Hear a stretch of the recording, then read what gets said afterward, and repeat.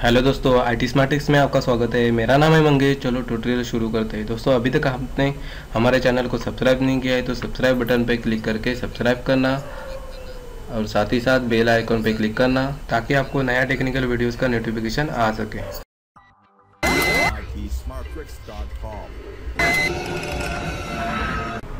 चलो दोस्तों देखते हैं आज कि अपने लैपटॉप या डेस्कटॉप में जो आइकॉन रहते हैं या फोल्डर रहते हैं उसको डेस्कटॉप के ऊपर जो भी आइकॉन फोल्डर्स रहते हैं, जो भी फाइल्स रहते हैं, उसको ऑर्गेनाइज कैसे करते हैं? वेल लाइक ऑर्गेनाइज कैसे करते हैं? मतलब एकदम लुक एकदम आपको अच्छा लगेगा।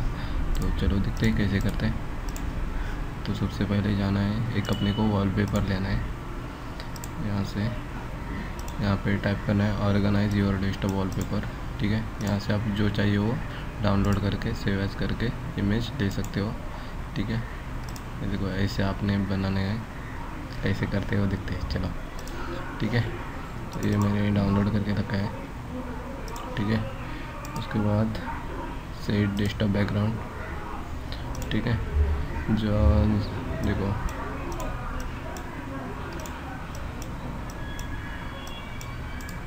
उसके लिए देखो ये बराबर मतलब बैठ नहीं रहा है। तो क्या करना है? व्यू में जाके राइट क्लिक करके डेस्कटॉप पे ये टिक निकाल देना है। ठीक है?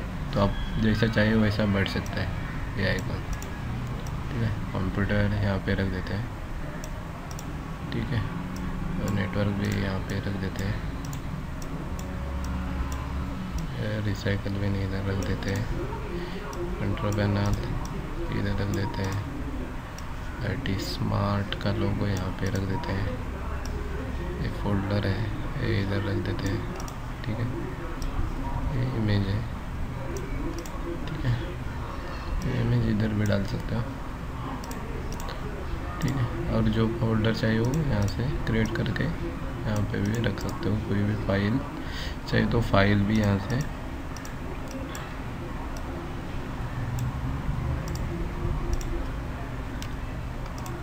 ठीक है। उसके बाद राइट क्लिक करके गैजेट चाहिए तो गैजेट भी ले सकते हो। ऐड करते कैलेंडर ऐड करते लॉक जो चाहिए वो कर सकते हो, ठीक है। ये यहाँ पे रख देते हैं और जो चाहिए वो लॉक यहाँ से सिलेक्ट कर सकते हो आप। ये देखो, ठीक है।